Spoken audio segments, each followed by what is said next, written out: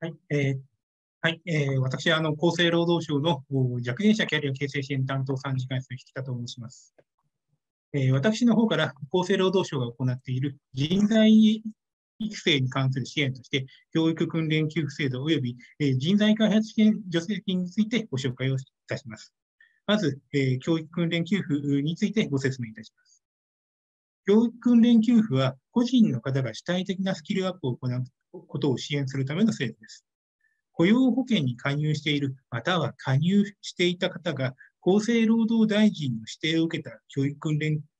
講座を受講し、終了した場合に、ハローワークに申請し、えー、受講費用の一部、2割から最大7割を支給します。教育訓練給付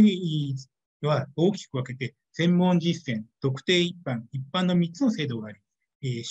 習得しようとする資格やカリキュラムによって制度が分かれ、受給のための要件や給付割合が異なってきます。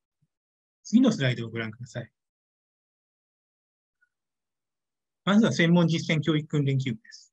業務独占資格、一般レベル以上のデジタル関係資格、経済産業省の第4次産業革命スキル習得講座、先ほどあの経済産業省さんからご紹介ありましたけど、また、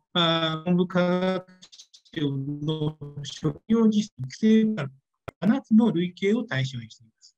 次に、特定一般教育訓練給付です。専門実践教育訓練給付と対象とならない業務の選資格や ITSS2 相当の資格などを対象にしています。最後に一般教育訓練給付です。業務独占資格に限らず、一定の要件を満たした民間資格や大学の修士等を対象にしています。こちらは3つの制度で目標にしている資格等をカラーで並べたものです。では、教育訓練給付の具体的な手続きについてご説明いたします。申請手続きについては2種類あります。1つ目は画面上部の教育訓練給付の対象講座となるための手続きです。2つ目は画面下部の給付を受けるための手続きです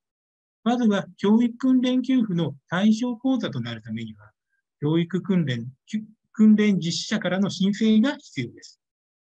提出された申請書をもとに内容を審査し、問題がなければ対象講座として指定。申請の受付や相談については、令和4年度は委託先の中央職業能力開発協会にご相談ください。次に、給付を受けるための手続きですが、一般教育訓練給付については、講座を終了してからハローワークに申請となります。一方、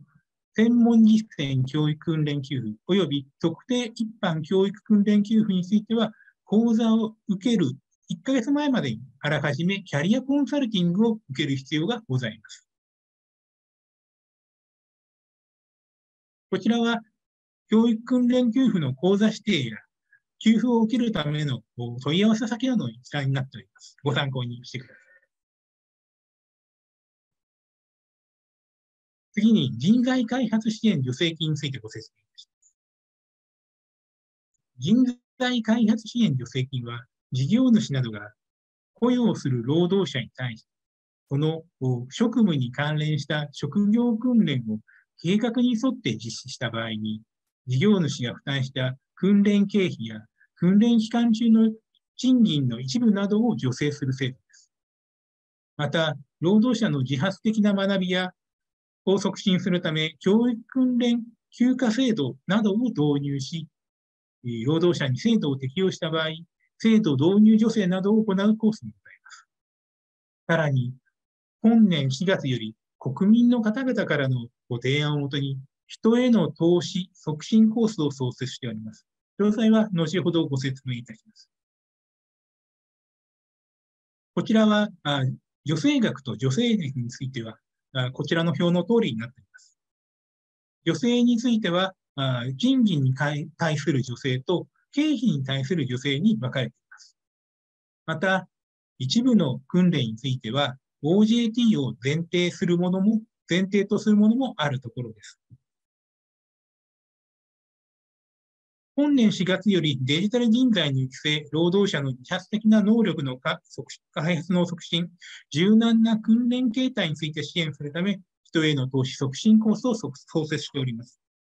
デジタル人材の育成にかかるメニューとしては、ITSS レベル4または3となる訓練など、高度な訓練を実施した場合に、経費助成率75%と高い助成率で支援しているメニューなどがございます。また、IT 分野未経験の方に対して、えー、OFJT と OJT を組み合わせた訓練を実施した場合にも、予定するメニューもございます。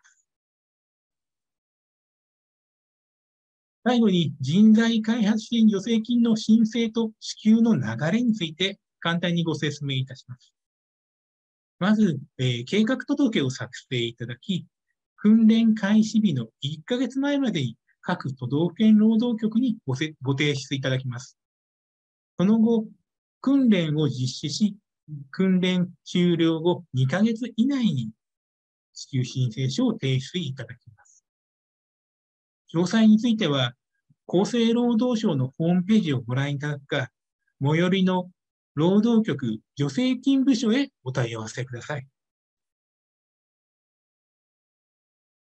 以上で厚生労働省は様々な形でデジタル人材の育成について支援してまいります。駆け足になりましたが、ご清聴どうもありがとうございました。